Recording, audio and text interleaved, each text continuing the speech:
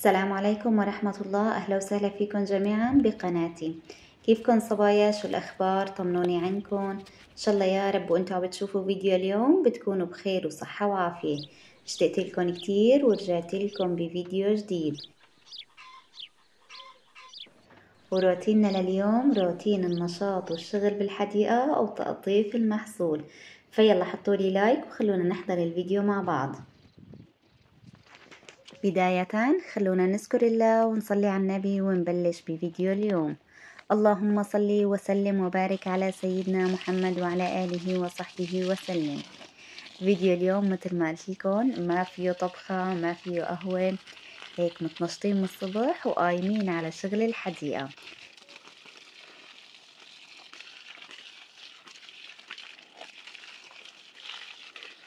شفتوا حكيت لكم بالفيديو السابق إنه عندي شغل بالحديقة كتير ولازم خلصهم فقلت لحالي خليني أخلص شغلاتي بالبيت كلياتهم وبعدين بطلع بقى على شغل الحديقة.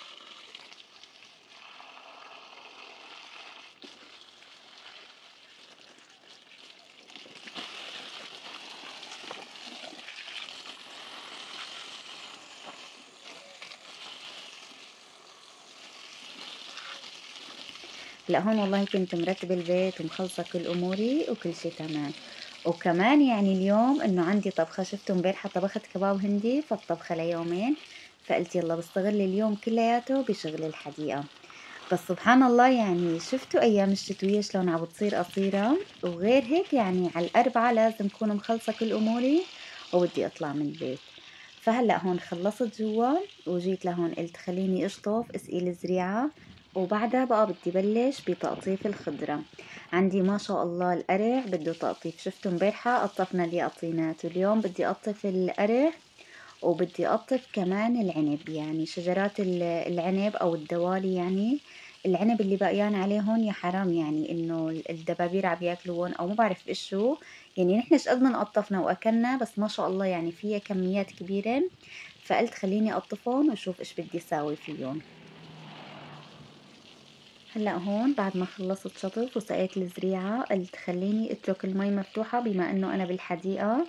خليني أسقي الرمانات وعم بسقي الليمون بهي الفترة عشان إنه شفتوا الحبات تكبر ويصير فيها مي. بس بدي أسألكم صبايا اللي عندها خبرة واللي بتعرف بالزراعة وبالرمان تفيدني بهي المعلومة.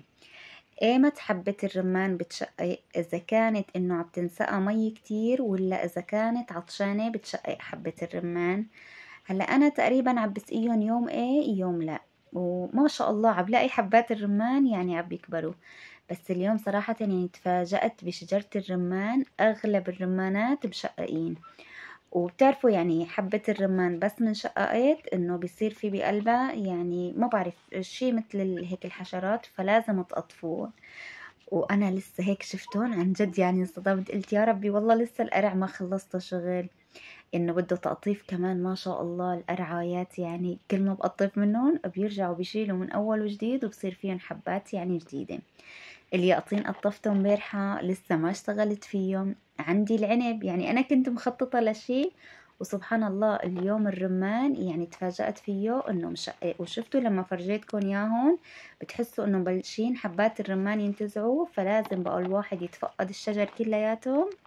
ويقطف الرمانات. ففيدوني بهي المعلومة إنه استمر إني اسقيهم ولا خلص وقف ما بقى اسقيهم مي لحتى ما يشققوا البقايا.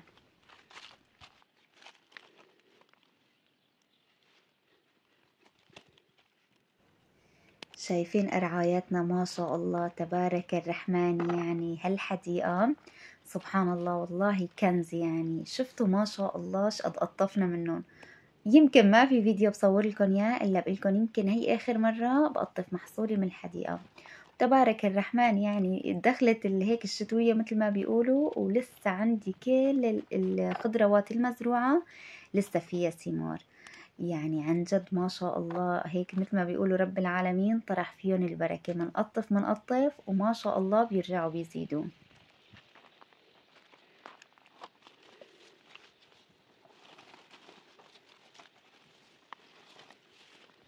هلأ امبارحة اليقطين شفتوا اللي قطفته وزعت منه على الجيران ولسه عندي كمية ولسه ماني مقطفة اليقطين اللي بالحديقة الخلفية. اليوم القرع اللي قطفته كمان والله بدي وزعه على الجيران. يعني أنا إنه طبخت منه ومن غير شر هلأ جوزي بالمشفى والولاد ما كتير بيحبوا الأكلات القرع فما بدي أستخدمه يعني. فقلت بقطفه وبهيك وزعهم لأصحابينا النصيب. إن شاء الله يا رب هيك بياكلوهم بالهنا والعافية. شايفين ما شاء الله شقد قطفت قرع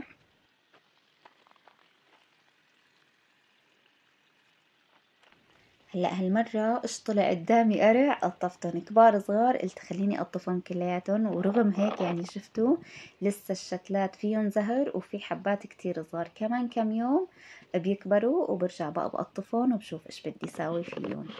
هلا خلصت وجيت أتفقد هي الحديقة. شفتوا امبارحة قلت لكم إنه فيها بطيخات صغار.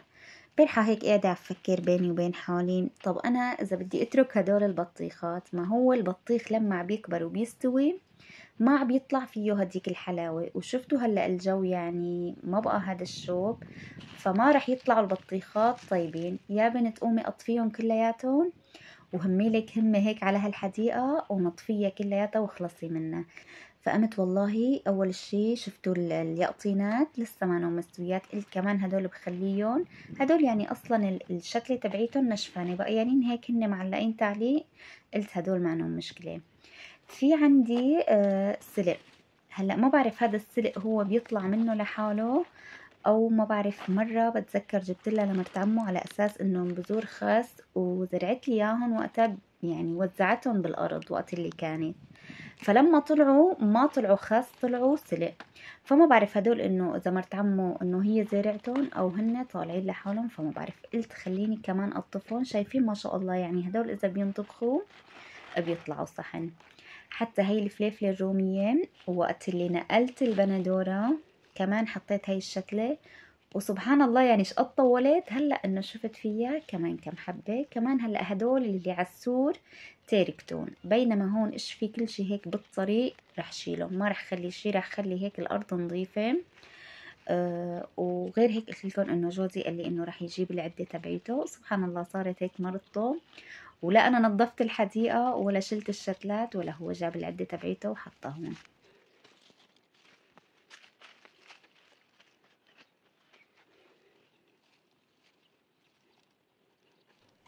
هلأ هون بلشت اقطف هدول البطيخات قلت لكم إني بدي اقطفهم خلينا ناكلهم وهن هيك صغار وخضر. أحسن ما يستووا ويطلعوا بالأخير بلا طعمة. هلأ هاي شايفين كبرانه صراحة يعني ما بيكون فيها حلاوة ابدا ابدا.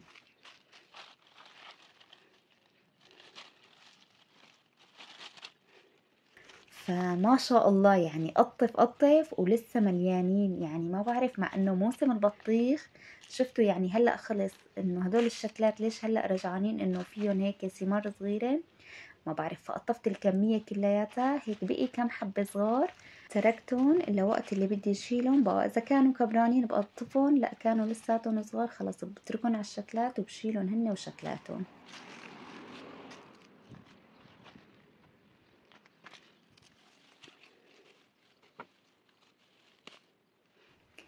وهي هون كمان عندي شكلة الفليفلة كمان مختلفة عن هدوك الشكلات بس هي الفليفلة يعني بس هيك شكل على قد ما أنا حدة كتير حدة وما بتتاكل. بس هلأ إنه شفت الحبات الفليفلة أو قرون الفليفلة كبرانين قلت بجوز يعني إنه خفت الحدودية تبعيتهم. خليني أطف كم وحدة ونجربهم نشوف بيتاكلوا أو لا.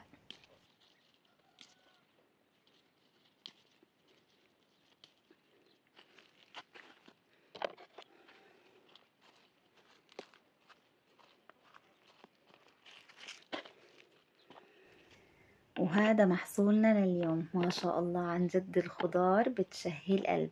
وسبحان الله يعني بتلاقوني كل كم يوم بقطف خضرة بس كل مرة بتكون مختلفة عن المرة اللي قبلها.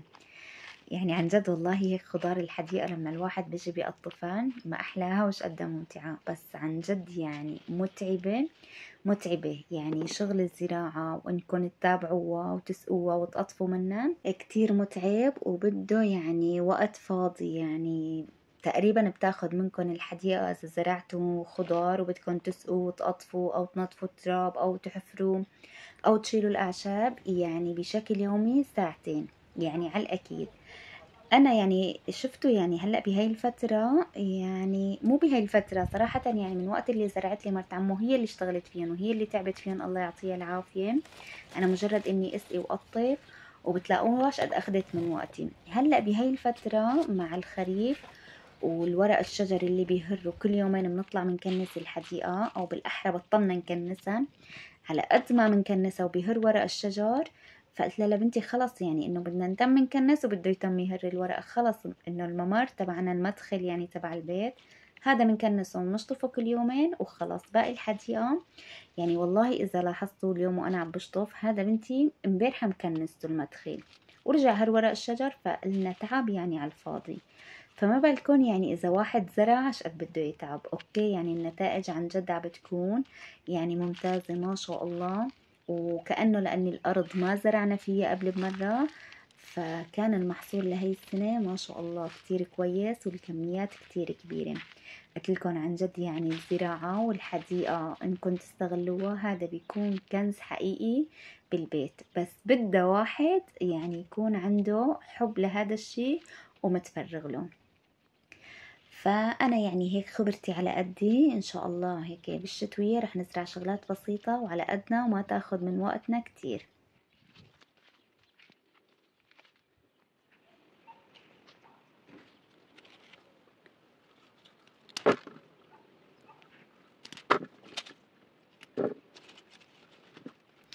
هلا هون خلصت الحديقة هنيك وخلصت تقطيف الخضرة. جيت على الحديقة الخلفية. هلا هاي الحديقة الخلفية مثل ما بيقولوا قصة تانية. هلا أنا صراحة ما بصور لكم إلا القسم اللي فيه الدوالي يعني وورق الشجر معبي المكان. هلا تقريبا هاي الحديقة ما كنسناها يمكن من أسبوعين أو أكتر حتى من أسبوعين لأني قلت لكم بنكنسها من هون ومشطفة من هون ورق الدوالي يعني إيش قد من قلت لكم بهر فعن جد يعني ما بتتخيلوا المنظر. عندي كمان الجوز الجوز الأمريكي عندي شجرة كبيرة كبيرة ما شاء الله يعني. الورق معبي المكان وغير هيك بلشنا نجيب خشب للشتوية. فجايب لي إياهم جوزي يعني بكياس كبار هدول بدهم تقطيع وبدهم نحطهم بالمخزن تبعهم ونغطيهم. فيعني الحديقة ورا قلت لكم عن جد يعني بدها شغل يومين ثلاثة العيلة كلياتها لحتى تترتب وترجع تنضف هلأ هون شايفين بس هيك قطفنا العنب شوفوا المنظر شلون صار. هلأ الورق كان من قبل مثل ما قلت لكم بس لما نجي نقطف العنب القشفي عنب نشفان كلياته يهر على الأرض. فقلت يلا مو مشكلة خلونا نخلص من العنب كلياته نقطفه. وبعدين يبقى بكنسها هيك تكنيسة بليف الطاولة الكراسي بدي ضبون عشان بكرة بس ينزل مطر هدول الكراسي بحطهم بالمخزن بس بترك الطاولة. وهذا الكنب عندي كمان بشيل الوجه تبعه بغسله وبغطيه بنايلو خلص هلأ هون ما بقى ينقعد بهي الحديقة. فهلأ هون قطفنا العنب كلياته وطلعت عندي هي الكمية.